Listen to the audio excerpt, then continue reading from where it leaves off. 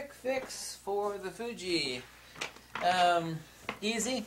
Um, a few people were sending me videos of other people showing videos, filming in any sort of video mode with their XT2, and it's called a Jello Wobble, where the image would go wah, kind of like a Jello mold. That's why they call it Jello Wobble.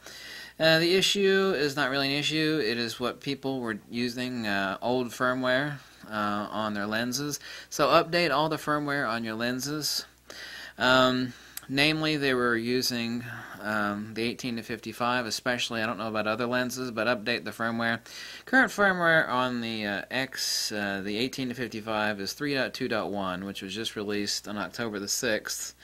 Um, but these were people that hadn't even upgraded to 3.2.0, and why would they? On the XT1, they were having no issues, so they're running firmware even older than 3.2.0, which I can't remember what firmware that is.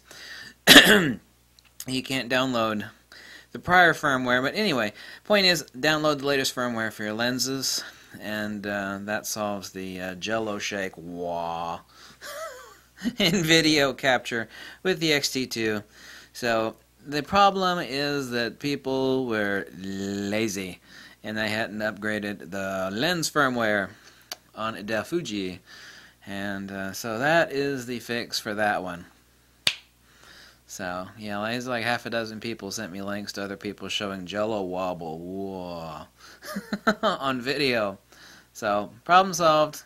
Update your firmware. Thanks for watching, and that's on Fujifilm.com. Just type in Fujifilm firmware update. You should know how to do that already by now, of course. And uh, bye. ハハハ。